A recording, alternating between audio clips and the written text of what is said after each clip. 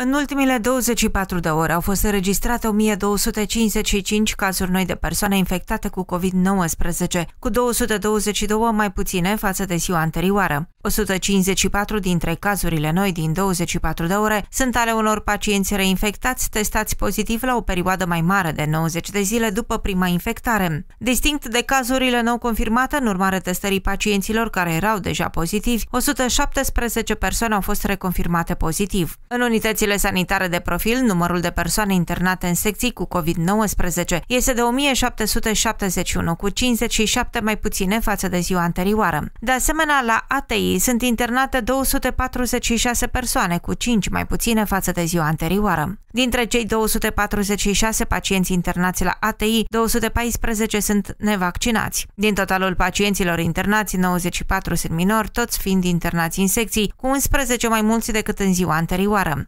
Niciun minor nu este internat la ATI. De asemenea, la ATI sunt internate 251 persoane, cu două mai puțin față de ziua anterioară. Dintre cei 251 pacienți internați la ATI, 223 sunt nevaccinați. Din totalul pacienților internați, 83 sunt minori, toți fiind internați în secții, cu 20 mai puțin decât în ziua anterioară și 0 în ATI, la fel ca în ziua anterioară. Județele în care s-au înregistrat cele mai multe cazuri în ultimele 24 de ore sunt București, 398, urmat de Timiș, Cluj și Bihor. La celălalt pol, cele mai puține cazuri au fost înregistrate în Tulcea 0 cazuri, iar în Dolj a fost înregistrat un caz. Până astăzi, 65.310 persoane diagnosticate cu infecție cu SARS-CoV-2 au decedat. În intervalul 14-15 aprilie 2022 până la ora 10 au fost raportate de către INSP 13 decese, 6 bărbați și 7 femei, unul anterior intervalului de referință. Dintre cele 13 decese, unul a fost înregistrat la categoria de vârstă 40-49 de ani, 3 la categoria de vârstă 60-69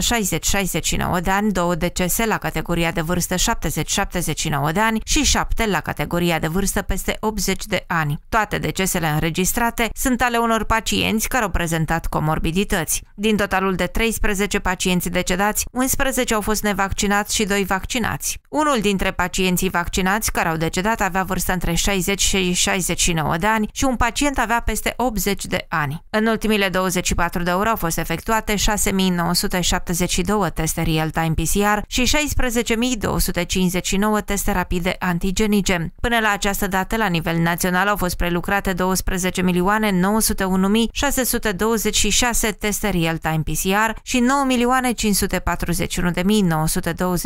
teste rapide antigenice. Rata de pozitivare a testelor efectuate în ultimile 24 de ore este de 5,40%.